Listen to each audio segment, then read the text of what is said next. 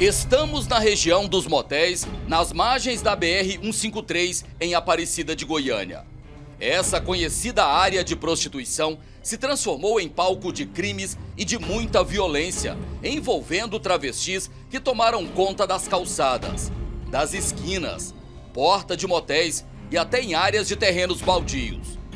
Essa travesti fica na rua, ao lado do carro, que tem inclusive uma plotagem no vidro com a foto dela. Na parte de trás do veículo, a frase chama a atenção. Nos últimos meses, dezenas de travestis vieram de outros estados e estariam até expulsando e ameaçando as garotas de programa que se prostituem na região. Cenas como essas de travestis brigando por pontos viraram rotina na porta dos motéis. Me solta! Você! Solta minha cabeça, viado! Você invadiu meu programa! Me solta! Você sabe! Solta meu cabeça! Solta! Você sabe! Esse outro motociclista ficou desfigurado ao ser agredido no meio da rua pelas travestis. Todo demolido, ó. Tá vendo? Não quer pagar travesti, ficou todo demolido, todo sangrando, moço. Os flagrantes de brigas envolvendo as travestis são registrados a todo momento, principalmente durante a noite e a madrugada. Dê nela por me dar! Dá na cara que ela é tirona! Dá na cara que ela é tirona! Dá na cara dela, pega ela! Dono de motel e presidente do Sinditu, Sindicato de Turismo e Hospitalidade de Goiás, Ricardo Rodrigues, afirma que a invasão de travestis nessa área tem afastado clientes e atraído até traficantes para a região dos motéis. A cada dia se desenvolve mais um polo de prostituição, de tráfico de droga e de violências à sociedade e às pessoas de bem. Nós fazemos ali que na rua Pernambuco, próximo à região dos motéis, tem um fluxo enorme de travestis, principalmente, que tem atacado as pessoas, tem agredido, né? inclusive com atentado ao pudor. E, o, e o, a, a sociedade não suporta mais esse tipo de coisa.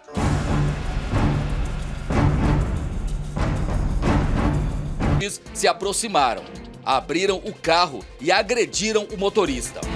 Enquanto duas travestis tomavam o celular e agrediam o motorista dentro do carro, outras travestis se aproximaram. Quando o homem saiu do veículo, foi cercado. Depois, empurrado, chutado e derrubado no chão. Após ter os objetos de valor roubados, o homem foi embora.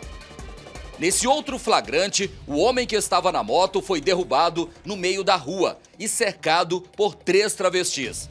Sob ameaça, o homem foi obrigado a entregar o cartão bancário e digitar a senha para transferir dinheiro para as travestis. Quando ele tentou pegar a moto, uma das travestis o obrigou a seguir para a porta de um motel onde foi pressionado a transferir mais dinheiro através de uma maquininha de cartão. Veja que enquanto o homem discute com a travesti no meio da rua, vários carros e motos passam do lado e ninguém oferece ajuda. Depois de fazer a transferência de dinheiro e entregar o celular, o homem ainda foi agredido e ameaçado para extorquir a vítima. Esse flagrante em que o homem foi filmado sendo agredido por duas travestis ocorreu aqui na porta desse motel, na região da BR-153, em Aparecida de Goiânia. As travestis, que fazem parte da chamada gangue da maquininha, agem principalmente durante a noite e a madrugada. Elas ficam do lado de fora, esperando os clientes. Os clientes passam, negociam o valor do programa. Depois, eles vêm para o motel. Segundo as vítimas, ou elas anunciam o assalto, ou então na hora de fazer o pagamento, na hora do acerto, elas colocam na maquininha um valor bem maior do que foi combinado aqui do lado de fora. Se o cliente reclamar, elas começam a fazer ameaças e até mesmo agressões. Empresários Donos de motéis maiores e mais requintados suspeitam que donos de motéis em decadência e que cobram valores populares estariam apoiando as travestis envolvidas com o crime. Muitas travestis teriam entrada livre nesses motéis populares para assaltar os frequentadores. Esse vídeo mostra duas travestis brigando na porta da suíte. uma teria se negado a ajudar a outra a assaltar o cliente. Meu nome! Nome tá bichas na boca! Vem cá! Socorro, não! Vem cá! Eu sempre te respeitei! Greta! Vem cá!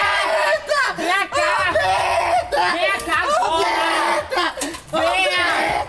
Ô, Greta! Venha! Socorro! Venha! Meu Deus! Venha! Ajuda meu pai! Venha! Me livra, Deus! Venha! Me livra, Deus! Então, minha algema.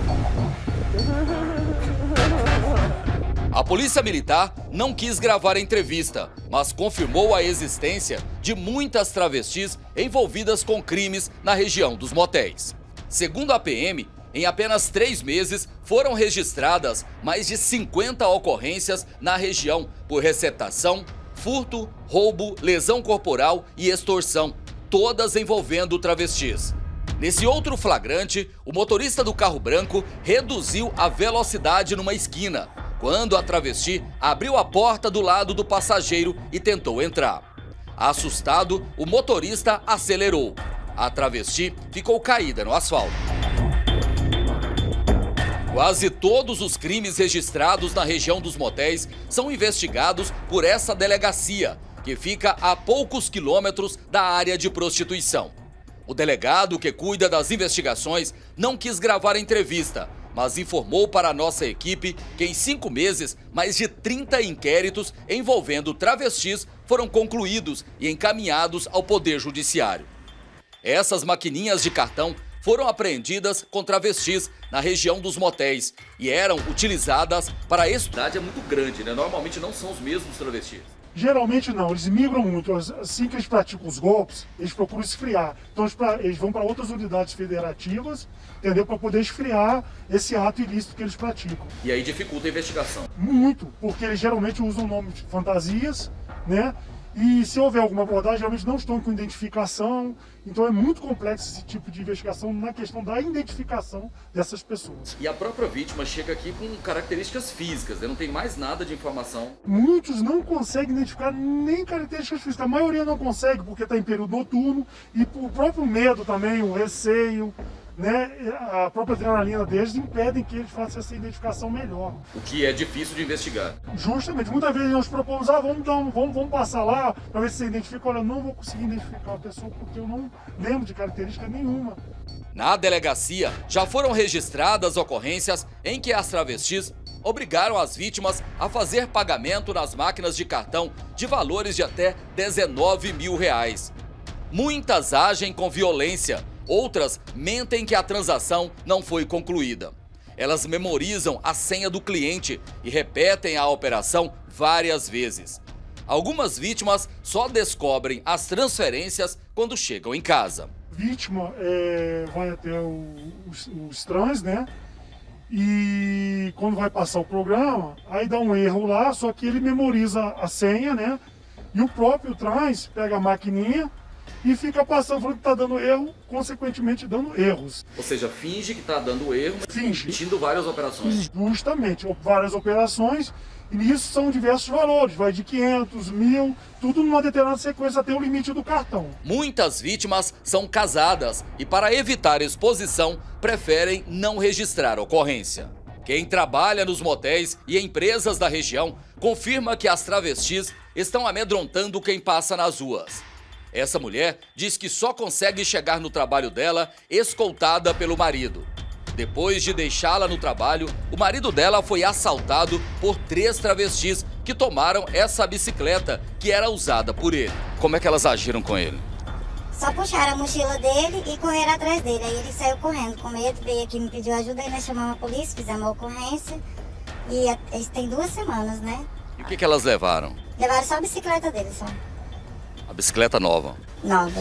Uhum. Essa bicicleta que você usava para vir trabalhar. Pra vir trabalhar. Aí hoje eu tô vindo a pé por causa que eu não achei ela. Já corri atrás, tentei até eu mesmo. Foi empurrado e levou um tapa no rosto. Em seguida, um casal se aproximou numa moto. A mulher desceu e uma das travestis agrediu o homem que estava na moto. Mesmo após as agressões, ele ainda socorreu o homem que apanhava na porta do motel. Nesse outro vídeo, um homem aparece sendo agredido por uma travesti. Com o capacete na mão, ele reagiu agrediu a travesti. Voltou para a porta do motel, pegou a moto e foi embora. Um ciclista que passava pela rua também acabou se envolvendo na confusão. Presidente da Associação Comercial, Industrial e Empresarial da região leste de Aparecida de Goiânia, Maione diz que muitas vítimas das travestis não estão na região em busca de sexo. Várias indústrias e empresas funcionam ao lado dos motéis e as travestis estariam atacando e agredindo funcionários dessas empresas. Marginaliza a, a região, desvaloriza aí também o comércio aqui local e isso tanto nos preocupa. E a gente já foi provocado aí por vários associados preocupado com isso. A gente tem visto aí o trabalho afinco da polícia. A nossa preocupação, Lores, é trazer o foco aí desses que estão ali infiltrados. Que isso é o que tem trago aí essa insegurança aí para nós. Porque aí tem a violência, o tráfico de drogas. Sim, furto, é, constrangimento. As pessoas que passam ali ficam até com medo de ser abordados. Nós precisamos combater a rua é pública. É fato que eles têm o direito de ir e vir, mas eles não têm o direito de ser dono das, das vias públicas. Então nós precisamos, através dos sindicatos, que inclusive o sindicato laboral corrobora conosco também no sentido de combater isso. Eles também não têm conseguido acessar as empresas para levar os benefícios do laboral aos empregados. Nós, empresários, estamos refém dessa situação. Nossos é, é, clientes não conseguem acessar as empresas